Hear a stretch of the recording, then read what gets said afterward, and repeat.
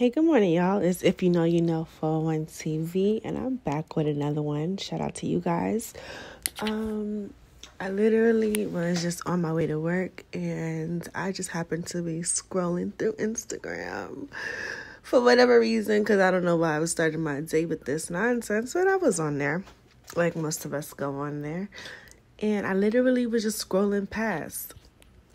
I happened to see this video and I I think I saw this video last night, but I didn't really pay no attention. But as I was scrolling past, I caught the tail end of the video, and this is what I saw on the back of Kim Kardashian's shirt hoodie.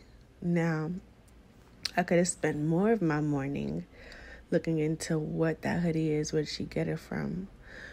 But I think I spent enough time yesterday on YouTube. Uh, shout out to, let me pull up his profile so I make sure I get it right. Unplug him.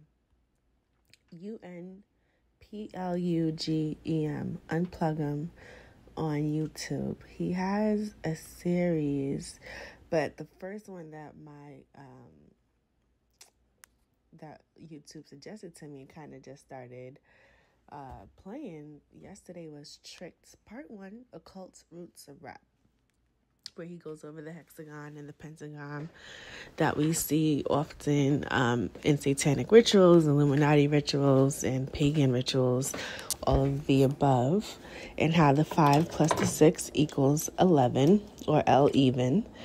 And regardless of whether you're a Crip or a Blood, BD or GD, uh, Democrat, Republic. He kind of goes into how the red and the blue are used uh, to seem as if it's separate, but they all do come together. And the five plus the 11, I mean, there's a lot of esoteric uh, explanations behind a lot of this he goes into. But basically, my point is, I saw enough five pointed stars and six pointed stars yesterday enough for them to know that I didn't need to look it up anymore because either one is not a symbol of good. You know, um, although they say that it's the Star of David, you know, in Judaism, nothing that should be holy should ever be mixed in with anything else that cannot be holy, which is the crux of it all, the issue of it all.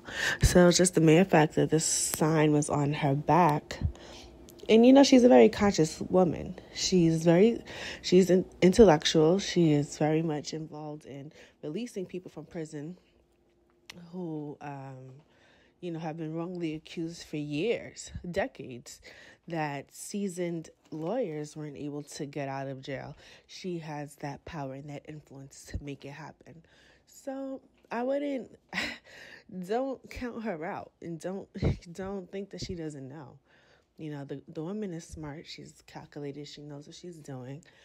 So I feel as if any move that she makes, anything that she puts on her body, is on purpose. It's not coincidentally. It must coincide with some type of reasoning. And so I didn't need to look up what shirt this was because Kim Kardashian didn't wear this shirt by accident. I also found it interesting that in the rollout of Donda, Kanye was also accused of stealing a similar design, you know, um, a six pointed star from a black owned company, black owned, white owned, double owned, Illuminati owned. It really doesn't matter. These symbols have been used over time for nefarious purposes. So it's just interesting that even though they claim they're going on a divorce, they seem to be mentally still very much aligned. You know what I'm saying? And so, in me noticing this, I'm like, this is something that my people will want me to make a video about. I have to address this because if you know, you know. If you see it, then you say something. It's like being on the subway in New York. If you see something, you say something. I see something, so I'm gonna say something. But I'm always gonna try to you know, give you guys some context or, you know, um, add further validation to what I'm saying. So I just did a simple Google search. I really wasn't trying to make this a long video. I have three minutes before I'm about to start my job anyway. But I, I just searched Kim Kardashian or Kardashian Wiccan. You know, this these terms have been floating around for for for years now that these women are witches. Of course, I find this VH1, the year so far in Kardashian witchcraft. Now, this is predictive programming, like make a joke out of it, make it seem so far fetched and way out, but there's some validity behind it. Kylie has a crystal garden. Rob is disappearing. Something witchy is in the air. Bible. Like the way that people play with certain ideals and um, concepts is crazy to me. So this actually made news. This was, um, I don't remember which publication this came from. I want to say, oh, the Daily Mail. Kourtney Kardashian and her son Reign visit the Spadena Witch House in Beverly Hills November 17, 2020. I said to myself, why is this even news? Who cares where she took her son for fun? You know what I mean? Okay, it's a witch house, or it's marketed as a witch house. But the fact that it made news, I think that was more telling to me. So I said, hmm, gonna keep this. Cool. I'm just minding my business, literally on the internet, just trying to put some add some pictures to the context of this video why do I see again? Creepy. Kourtney Kardashian and boyfriend Travis Barker toured the spooky witch house in Beverly Hills. So she made news not once but twice for going to this witch house. Her and um, Travis went to this witch house this year. They went to this witch house this year. So it's almost like um like unplug them said you could look at something and it could have three levels of meaning. So on the surface level, you just may think, oh, okay, she she really likes this witch house. She likes to go on fun, you know, unconventional dates. But the fact that they keep highlighting that she's going to the witch house, and there's already rumors that the Kardashians are Wiccans, and they had a date there. They didn't just tour the spooky house, they had a date at the spooky house. Let's read into it a little bit um, did I even screenshot some of this article? Probably not, because I felt like that was um, telling enough. So moving right along. So then I find this Kim Kardashian in her near transparent strategic cutout shirt, um, cutout dress from Victor Barragan um, of Mexican heritage. Now, this dress was inspired, I'm reading directly from the Vogue article, inspired by his Mexican heritage, Barragan based his collection on the Mexican Inquisition and the persecution of brujas and brujos, witchcraft practitioners whose beliefs were deemed heretical by the Catholic Church.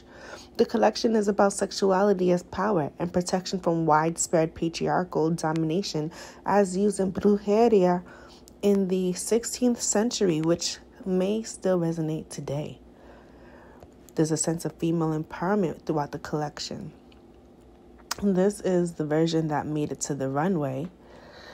But Kardashian wore this to the Vatican. She wore this to the Vatican. Wow. Hanging out with Kate Moss. Which is a blatant offense to the the you know the Catholic Church, or as I learned last night, the Holy Cat. now, see now, I always knew it as you know connected to the papacy. It's literally the one of the heads on that dragon in Revelations. We couldn't go into that a whole nother video, but the statement to the the Catholic Church, um, it's kind of weird because they I'm not going to get into that. I don't want them to take down my channel, but we can get into that later. But I just found it very interesting that she wore a statement piece about witchcraft to the Vatican. Y'all are not picking up what they're dropping. Why would Vogue even want to write about that unless they was trying to bat signal and, you know, the, the word come out to who they needed to come out to. They're communicating to their um to there are different uh, sects all around the world. They're they're letting it be known what it is. And if you're not watching, if you're not keeping that watchful eye, you're never gonna know.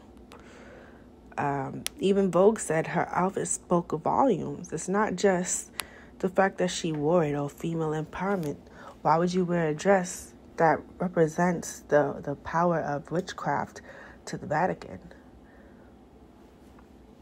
And all of this came from me simply just swiping by on Instagram and seeing the back of this hoodie.